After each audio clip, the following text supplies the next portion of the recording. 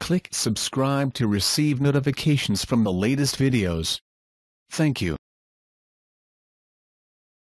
Australian Idol winner reportedly facing 15 years in prison on drugs and weapons charges. Former Australian Idol star Kate Arago is reportedly facing up to 15 years in prison on drugs and weapons charges.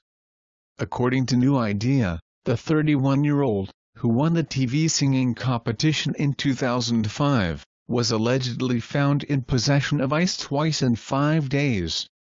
Police allegedly first caught DeAraugo with 430 milligrams of ice in Shepparton on June 10, and then again on June 15 with a trafficable quantity of the drug, as well as a large knife and tomahawk without lawful excuse.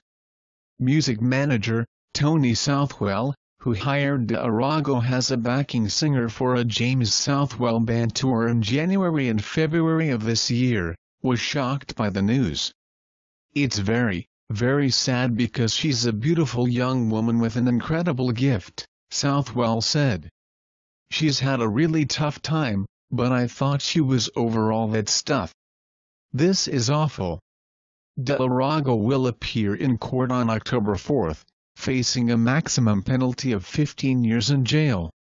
After winning Australian Idol, DeAraugo enjoyed quick success with her single, Maybe Tonight which peaked at number one in Australia, while her debut album, A Place I've Never Been, peaked at number 10.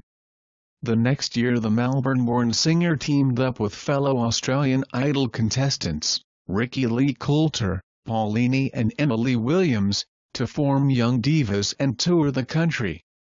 Together, the group released two studio albums, Young Divas, 2006, and New Attitude, 2007.